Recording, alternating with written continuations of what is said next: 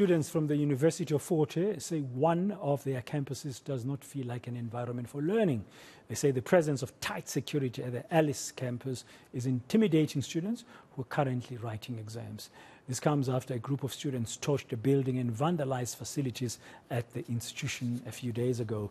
13 suspects appeared in, uh, in uh, the Alice Magistrates Court on Tuesday on charges of arson and business burglary. ENCA reporter Ronald Masinda has more. It was an emotional first court appearance for one of the suspects as she broke down in front of a family.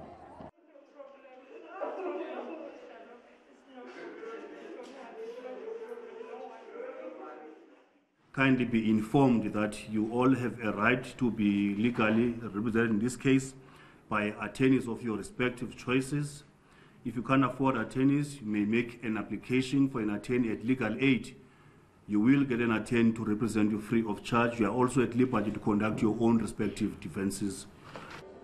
The alleged crime has received widespread condemnation, with many questioning why students would want to destroy facilities that are supposed to be of benefit to them. Indeed, we have arrested suspects uh, from the University of Fort Hare uh, who are alleged to have been, you know, uh, looting within from the shop that is within the university. Others who came in support of their colleagues who appeared in court say that they are worried that they are missing out on exams. They also say that they are concerned about the presence of private security at the tertiary institution.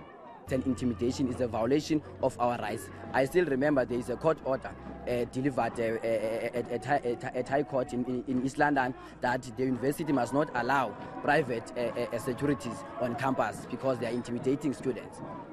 The 13 suspects will next appear in court on Thursday with the state expected to oppose bail. Ronald Masinda, Alice in the Eastern Cape.